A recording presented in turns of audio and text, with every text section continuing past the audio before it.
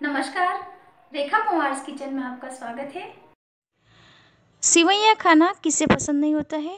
तो चलिए आज हम सिवैयों के साथ दो चीज़ों को और मिलाकर बहुत ही आसान सा और टेस्टी नाश्ता बनाते हैं। इसे आप किसी भी चटनी या सॉस के साथ खाएँगे तो इसका स्वाद और भी बढ़ जाएगा। चलिए बनाना शुरू करते हैं। इसके लिए गैस पर हम पैन चढ़ाकर और इसमें लगभग एक छोटी चम्मच तेल डाल देंगे।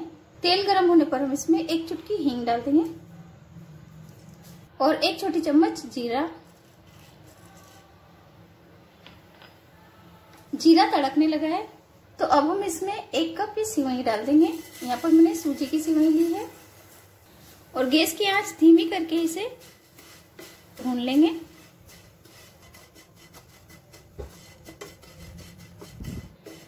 मीडियम लो फ्लेम पर हम इसे लगभग एक से दो मिनट के लिए ही भुनेंगे। इसका कलर चेंज नहीं होना चाहिए बस। तो लगभग दो मिनट हो गए हैं। तो अब हम इसमें डेढ़ कप पानी डाल देंगे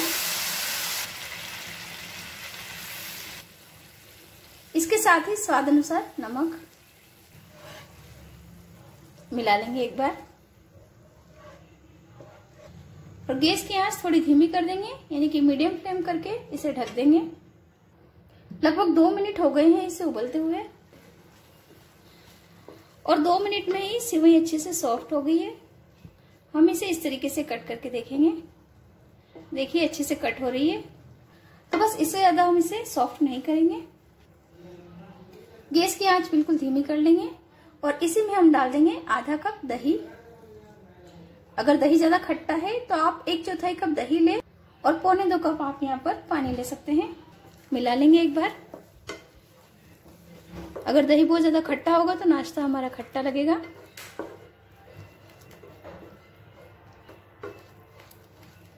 गैस की आँच हम बिल्कुल धीमी ही रखेंगे। दही को भी हमने अच्छे से मिक्स कर लिया है। तो अब हम इसमें डाल देंगे एक कप चावल का आटा और अच्छे से मिला लेंगे। गैस की आँच हमें बिल्कुल धीमे ही रखनी है।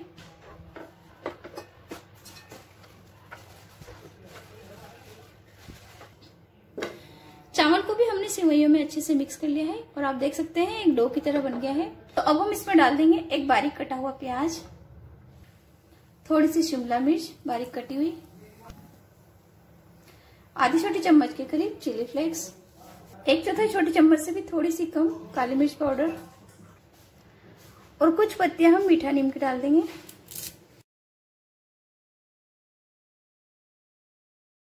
अच्छे से मिला लेते हैं सभी को।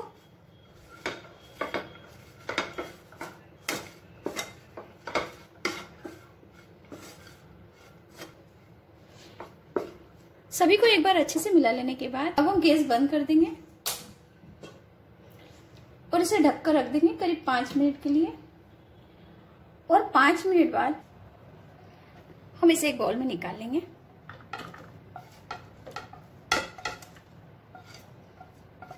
पाँच मिनट में ये हल्का सा ठंडा भी हो गया है। हम इसे टच कर सकते हैं। इतना ठंडा हो गया है। तो अब हम हल्के हल्के हाथों से इस तरीके से मसलते हुए इसका डो लगा लेंगे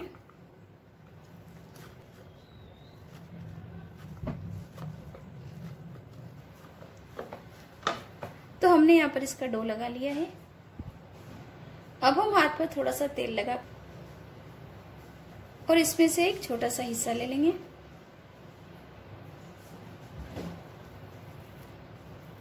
और इसे इस तरीके से दोनों हथेलियों के बीच में लेकर के चिकना करते हुए प्रेस कर देंगे।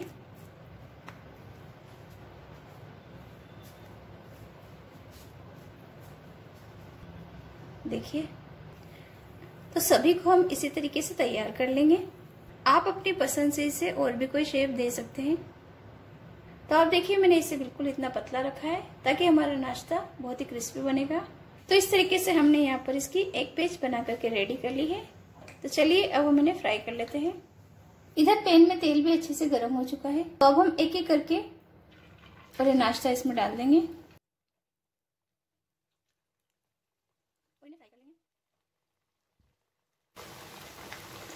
तेल में डालने के बाद हम गैस की आँच थोड़ी धीमी कर लेंगे, यानी कि मीडियम कर लेंगे।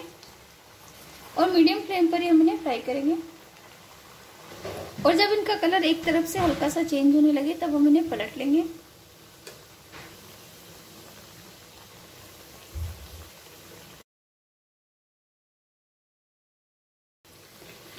मीडियम फ्लेम पर तेल एक बार अच्छे से गर्म होने के बाद ही हम इन्हें तेल में डालेंगे। आलू से बना हुआ नाश्ता तो आपने कई बार खाया होगा, लेकिन आप एक बार इस तरीके से सिवई और चावल से बना हुआ नाश्ता ट्राई कीजिए, आपको पसंद आएगा।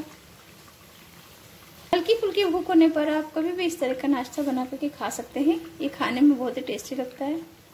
दोनों तरफ़ से उलट पुलट करते हुए आप देखिए, इनका कलर अच्छे से चेंज हो गया है। तो बस अब हम ज़्यादा देर नहीं करेंगे और इन्हें निकाल लेते हैं।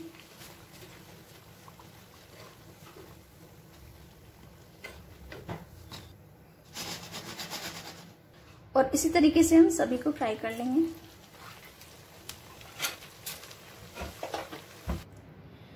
तो लीजिए, तैयार है हमारा। सिवैयों से बना हुआ है गर्मा गर्म नाश्ता। तो इस गर्मा गर्म नाश्ते को आप सॉस या फ्राई की हुई हरी मिर्ची के साथ खाइए। हल्की फुल्की भूख होने पर आप इसे कभी भी बना करके खा सकते हैं।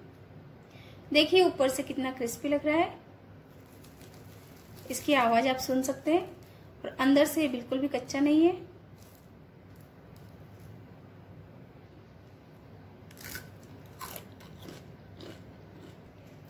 तो आप भी इसी तरीके से नाश्ता बनाइए और सभी को खिलाइए, ये सभी को बहुत पसंद आएगा।